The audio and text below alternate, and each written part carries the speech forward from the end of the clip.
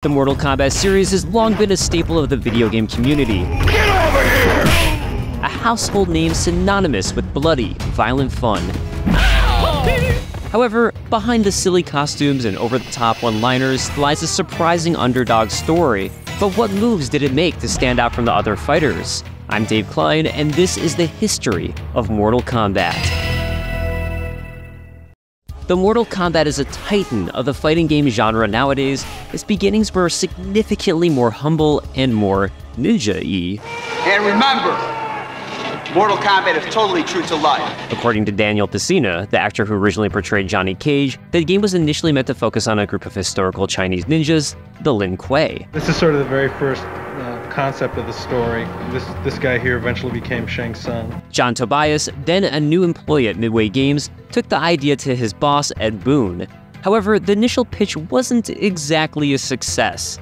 Boon liked the idea of a fighting game, but didn't think the specific concept would work. They wound up canceling the original idea, instead choosing to pursue a mainstream game with Jean-Claude Van Damme. Pesina was reportedly furious, saying, I gave a bunch of great kung fu ideas, and they were now going to give them all to Jean-Claude Van Damme.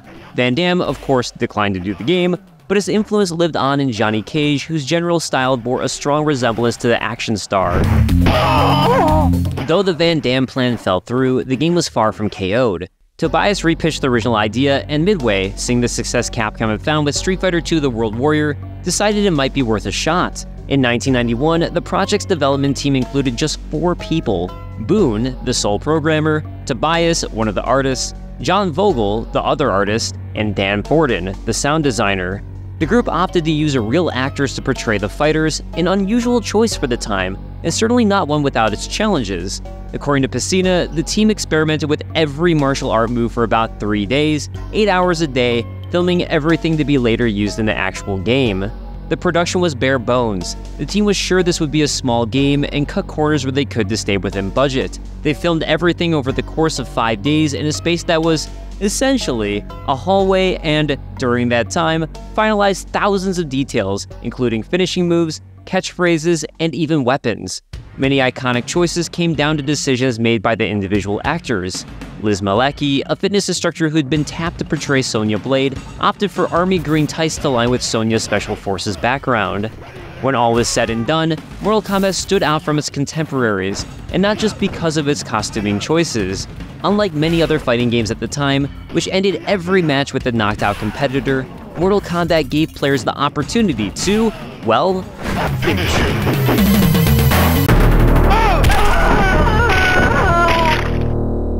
Mortal Kombat's signature finishing moves were complex, violent, and gleefully gory, a spectacle for arcade goers everywhere to laugh and wince over. This was thanks to Boon, who was tired of the cleanliness of other fighting games and, in a burst of bloody brilliance, insisted that players should have a way to finish their opponent off. I remember John saying, let's have Sub-Zero grab the guy's head and pull out and show the spine going, you know, just like in Predator.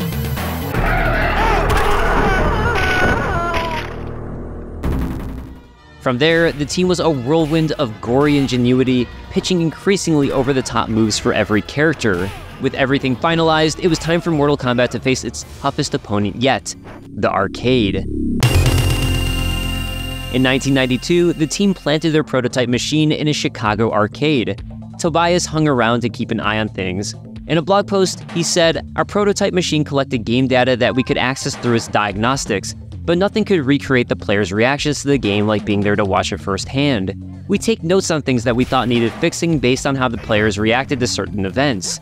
We tested the game for countless hours while it was under development at our offices, but nothing could put it through its paces like on site testing, and no other player feedback could be more genuine. At first, it seemed like no one would play the game. The machine sat untouched for hours, ignored by what few patrons the arcade had. This wasn't totally unexpected. The team was testing their machine during the NBA Finals in Chicago in 1992 when Michael Jordan was reigning supreme. Thank you very much. The arcade manager almost closed early to avoid the inevitable riots, but a few teens entered at the last second and made their way over to the Mortal Kombat machine. It wasn't long before the crowd around the machine had grown to be four or five people deep. According to Tobias, the manager at that point began guarding the front door, and it flipped the arcade's open sign to closed. However, he'd admit a patron if they were there to play Mortal Kombat. It was a sign of things to come.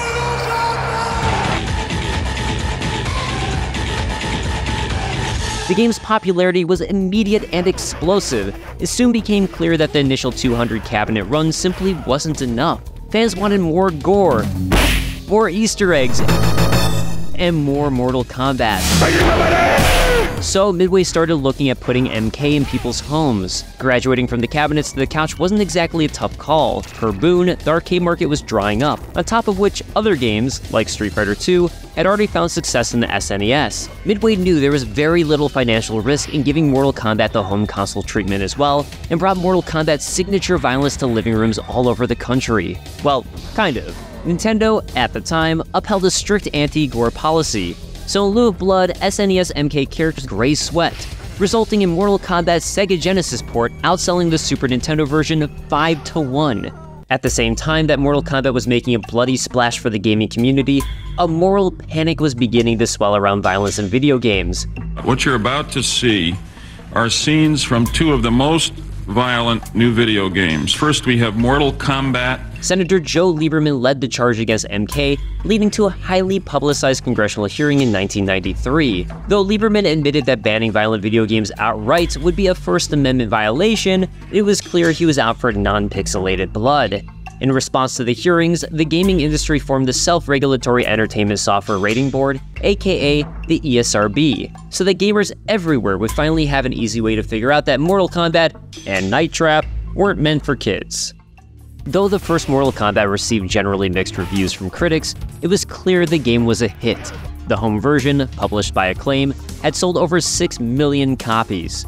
However, the team wasn't necessarily in sequel mode right away, and in fact, were thinking about making a Star Wars game until their general manager stepped in and talked some sense into everyone.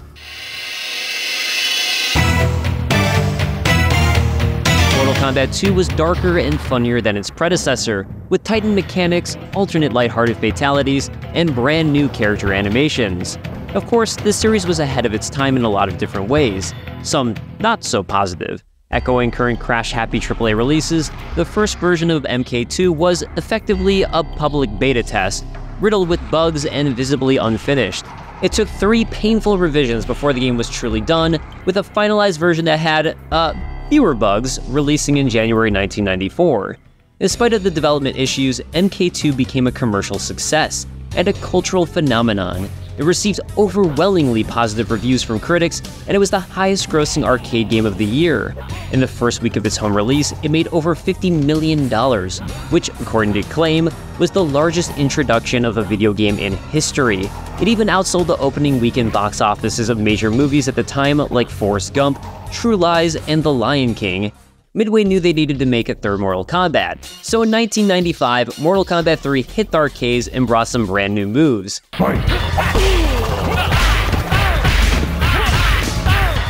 This was the game that introduced chain combos to the series, animalities, a run button, which allowed players to dash toward their opponent, and Kombat Kodes, which players could enter before matches to unlock additional features like health handicaps and secret character battles. Mortal Kombat 3 had notably different visuals from its predecessors, thanks to a more muted color palette, heavily digitized character sprites, and backgrounds created using pre-rendered 3D graphics. Additionally, though the previous two games had an aesthetic that leaned heavily on East Asian influences, MK3 went Western by way of Westworld. Seriously, there are so many robots in this game. After a massive marketing campaign, MK3 landed in North American arcades in April 1995. It wasn't long before it was ported to the Genesis, the SNES, and the newest console wars combatant, the PlayStation.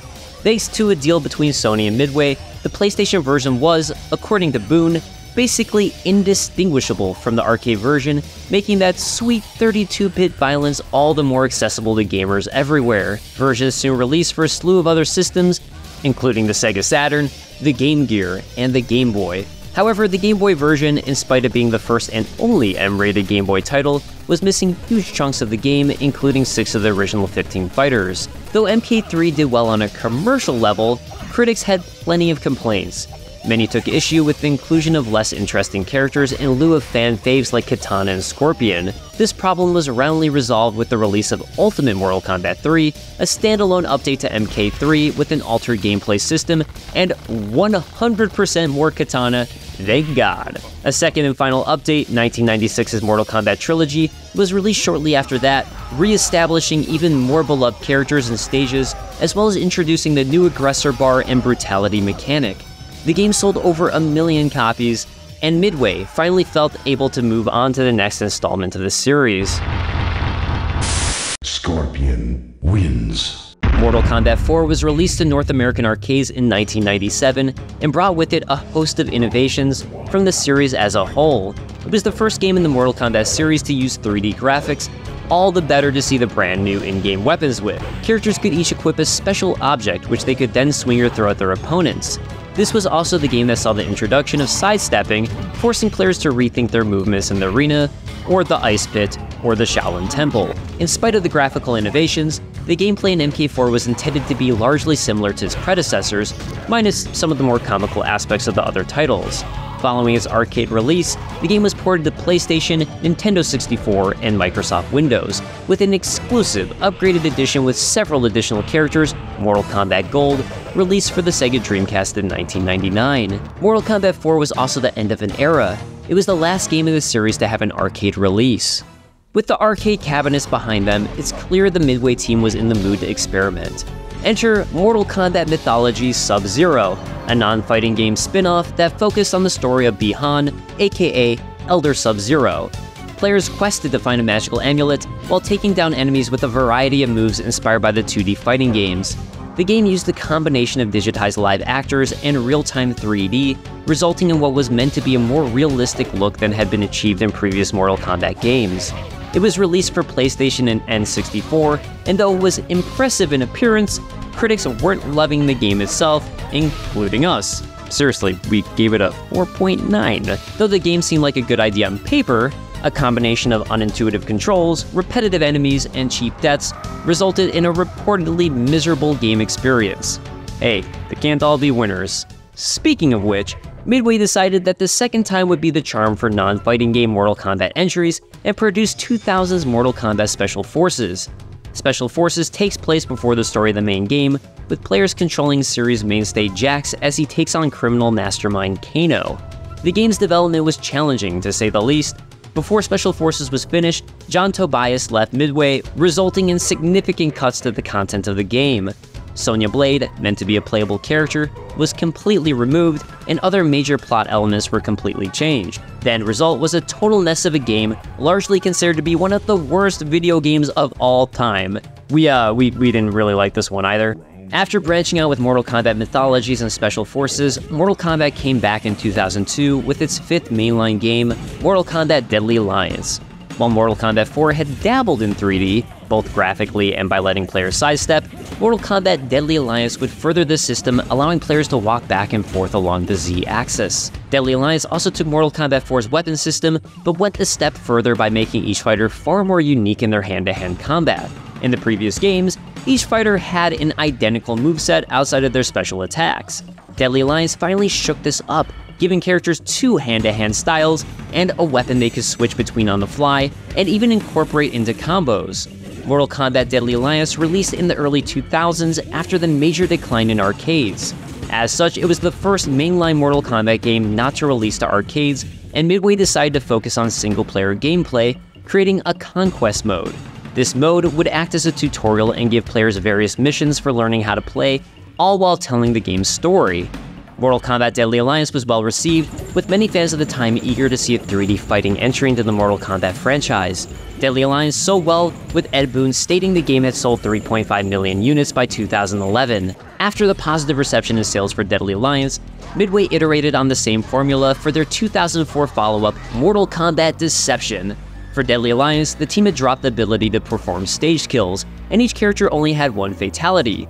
So one of the focuses on Deception became bringing back that number of fatalities to two per character, as well as making the stages far more interactive, with weapons players could find and pick up, death traps, and branching paths players could knock each other into. Deception also brought back and expanded on Deadly Alliance's Conquest mode. While Deadly Alliance had players reading dialogue between and during fights, with no control in between, Mortal Kombat Deception turned its conquest mode into a full action adventure, with players controlling Bo' Rai Cho as he explores, takes on quests, and of course partakes in classic Mortal Kombat fights. Notably, for Mortal Kombat Deception, the team wanted to focus on including an online mode, which had never been seen before in fighting games.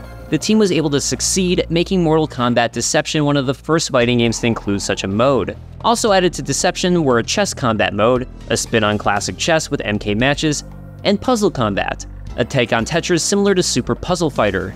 Mortal Kombat Deception released in 2004 to generally positive reviews, with the gameplay changes from Deadly Alliance in particular receiving the most praise. In 2005, Midway released another spin-off to the Mortal Kombat universe with Mortal Kombat Shaolin Monks. Shaolin Monks focused on players getting to control Liu Kang and Kung Lao during the events of Mortal Kombat 2, but with an action-adventure 3D beat-em-up gameplay style. Whereas Mortal Kombat Mythologies and Special Forces had both been generally panned, Shaolin Monks received generally positive reviews and sold over 1 million copies. There was even a sequel planned which would focus on Sub-Zero and Scorpion that was eventually canned due to financial constraints. After the success of Mortal Kombat Deception, the seventh installment in the Mortal Kombat franchise would once again build upon the foundation set by Mortal Kombat Deadly Alliance, this time titled Mortal Kombat Armageddon, for Armageddon, the team included every single playable character from the previous six installments to Mortal Kombat, but dropped the number of fighting styles for most characters from 3 down to 2, with some characters only having one style. Also returning was Mortal Kombat's Conquest mode, this time pulling elements from Shaolin Monks. As Armageddon's goal seemed to be to be the biggest Mortal Kombat yet, with the most playable characters, it also included a creative fighter mode, as well as the ability to perform custom fatalities. Mortal Kombat Armageddon released in 2006 and reviewed fairly well, but not as strongly as the previous 3D entries in this series. While the massive roster was praised, lack of innovation to the gameplay was noticeable to reviewers, and the creative fatality replacing classic fatalities wasn't viewed favorably by all, with GameSpot describing it as a disappointing replacement to the classics. The eighth mainline entry into the Mortal Kombat franchise is a bit of an oddity, in that it includes the DC Universe. While Versus games had grown in prominence in the late 90s and early 2000s, with Marvel vs. Capcom, in particular, gaining widespread praise and popularity, Mortal Kombat would finally enter the fray of Versus fighters in 2008 with Mortal Kombat vs. DC Universe. According to Ed Boon, originally Mortal Kombat 8 was meant to be a gritty reimagining of the Mortal Kombat franchise inspired by Gears of War. However, a deal was made with DC to create a crossover title, and from there, the original MK8 was scrapped. This new title would instead be, for the first time ever in a Mortal Kombat game, rated teen. As such, the series' iconic fatalities were either entirely cut from the game or were censored in various ways to keep the rating. Notably, the game featured a much heavier emphasis on its story mode, with cinematic cutscenes that would directly lead into the actual fights. Many of the new staples of the 3D games were dropped, including fighting styles and alternate weapons. Additionally, the game toned down in its 3D fighting, once again only allowing characters to sidestep in the Z-axis. Mortal Kombat vs. DC Universe released in 2008 to moderately positive reception, the new story mode was praised by critics in particular, and the game sold over 1.9 million units. After dipping their toes into Versus games, a major shakeup would occur, not only in the development of future games, but behind the scenes. Midway Games Chicago filed for bankruptcy and was subsequently purchased by Warner Bros. Interactive. What this meant was that for the first time ever, Mortal Kombat game wouldn't be developed by Midway Games. Instead, the new Mortal Kombat 9 which would come to be called simply Mortal Kombat, would be developed by the brand new NetherRealm Studios. Now, while all of that sounds fairly dramatic, at the end of the day, NetherRealm Studios was pretty much just a rebranded Midway Games. WB kept Midway Chicago, rebranded it WB Games Chicago, and then later NetherRealm Studios. What that means is, Mortal Kombat co creator Ed Boon would still be in charge and would go on to direct a new iteration of Mortal Kombat. Aside from Mortal Kombat 1, Mortal Kombat 9 is probably the most impactful game in the series. While the previous games had experimented with 3D and never quite found a format that stuck, similar to the recently released Street Fighter 4, Mortal Kombat 9 went back to its 2D fighting roots. This game would be 2.5D with all of the character models rendered in three dimensions, but with the actual fighting plane being two dimensional. Also similar to Street Fighter 4, which had brought Street Fighter back to its 2D roots with both its gameplay and character roster, the game focused on including characters specifically from the extremely popular Mortal Kombat's 1 to 3. Despite all the similarities in approach to gameplay, a 2.5D presentation, and character roster choices, according to Ed Boon, the team had already decided on this direction before Street Fighter 4's 2008 release, but Street Fighter IV's incredible success helped inform them that they had made the right choice in Mortal Kombat 9's direction.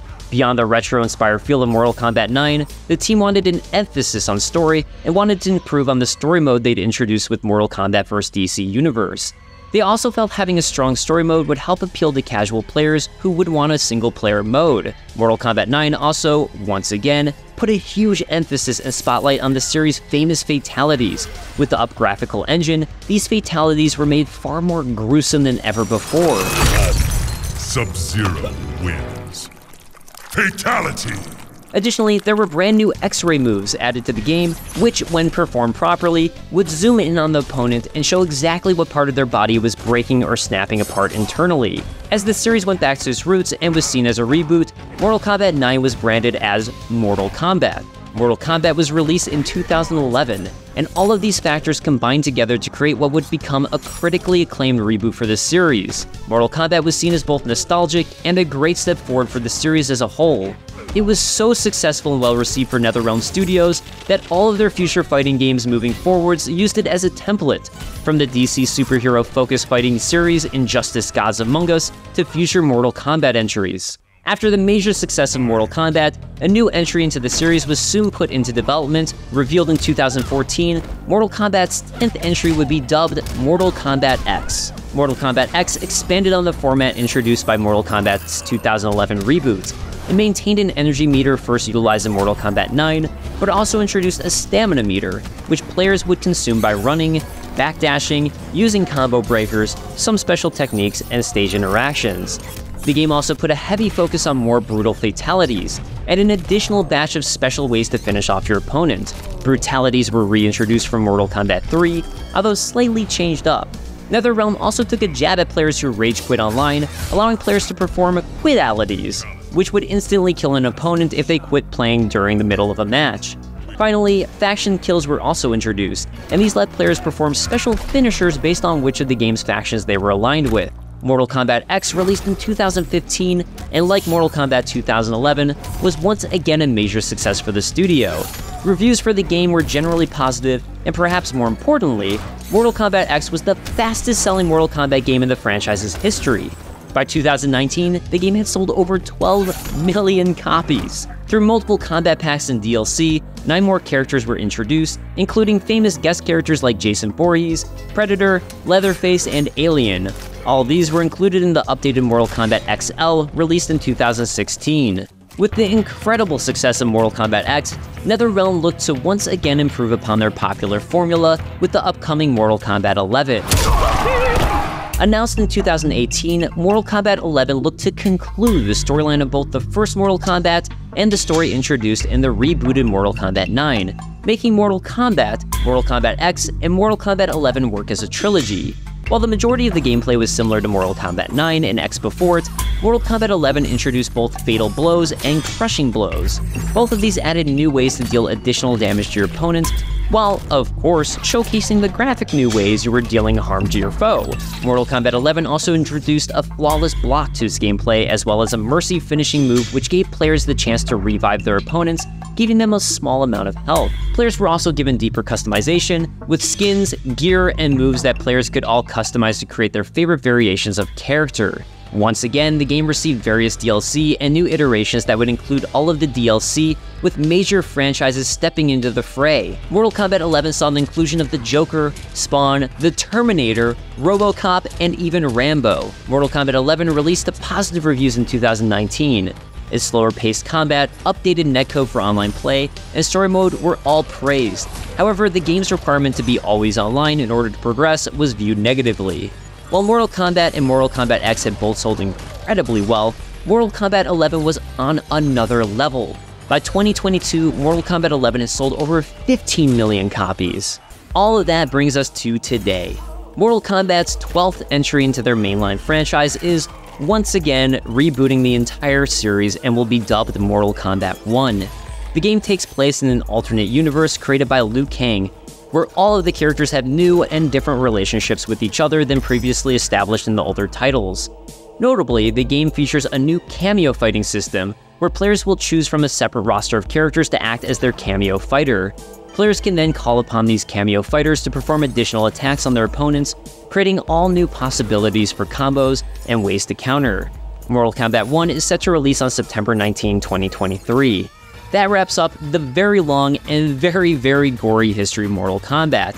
What was your entry point into the series? Which character is your favorite? And why is it Sub Zero?